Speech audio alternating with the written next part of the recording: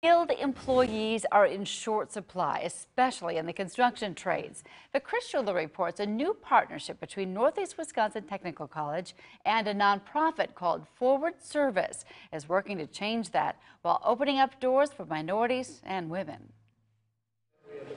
At NWTC, 11 students preparing for jobs in the construction trades learn important safety regulations. The first class from a new partnership between the nonprofit Forward Service and NWTC.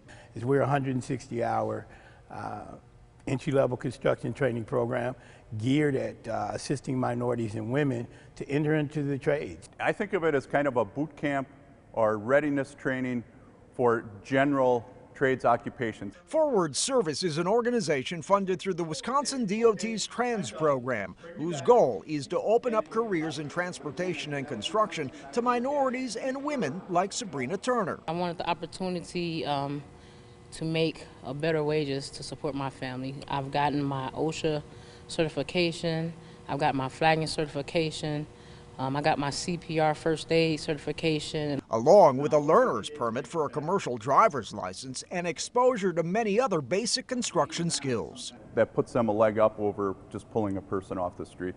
Finding quality talent probably is the number one issue for almost every trade right now. Bernard says those enrolled are helped with job placement. Starting hourly wages can range between 16 and $46.